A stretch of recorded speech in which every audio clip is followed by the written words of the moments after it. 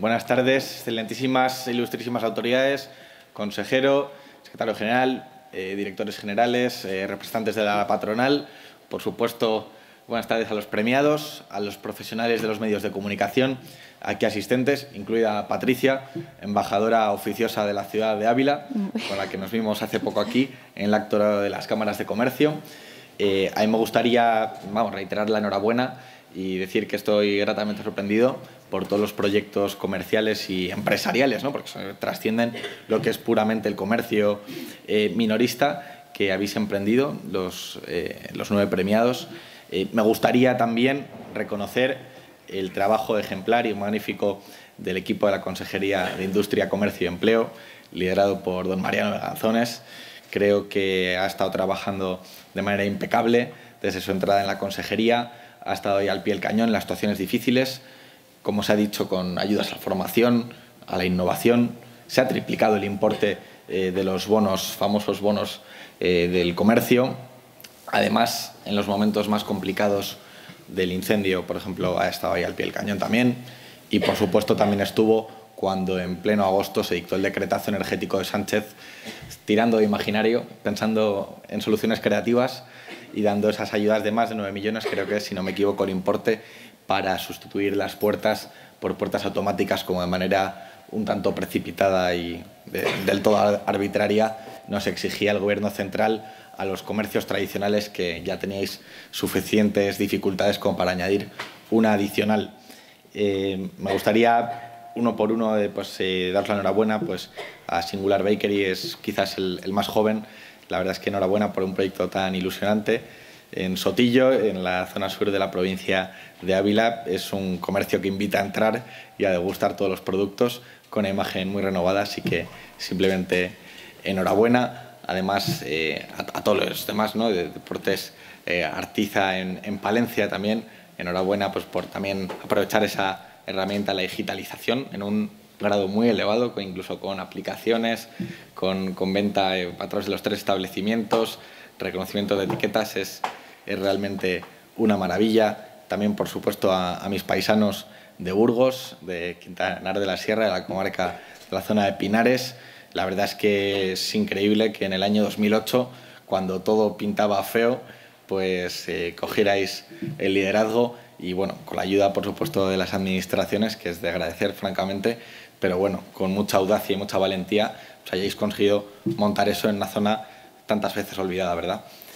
Y bueno, pues también, por supuesto, eh, a la Monsita en León. Eh, la verdad es que la Monsita sigue manteniendo ese alma, ¿no? No hay más que verlo después de tres generaciones de peleteros, eh, renovándose también, aprovechando las oportunidades de la digitalización, pero bueno, manteniendo la esencia. Enhorabuena y gracias por resistir. me gustaría también dirigirme a, a Carnicerías Pascualín, a quien creo que voy a volver a ver el 16 de enero, cumpliendo nuestro compromiso de que volveríamos pronto, una vez organizado todo el tema de las ayudas de la Consejería de Agricultura, Ganadería y Desarrollo Rural. Me gustaría darles unas gracias muy especiales, ¿no? porque está en una zona que si Pinares es olvidada, yo creo que la zona de Tabra pues, es una zona olvidadísima ¿no?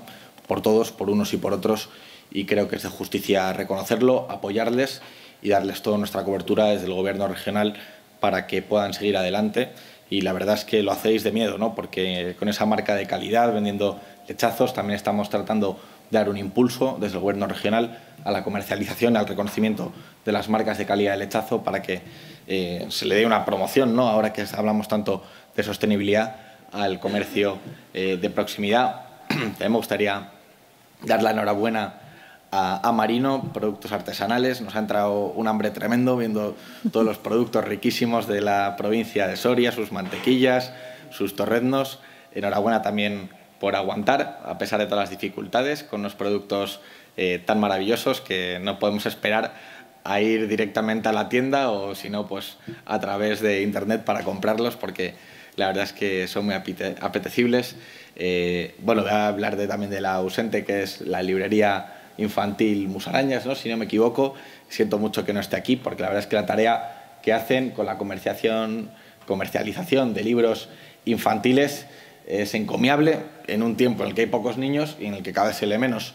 La verdad es que es una apuesta arriesgada, pero muy necesaria y por eso eh, le quiero dar también la enhorabuena al jurado por haber escogido también ese premio, igual eh, que todos los demás.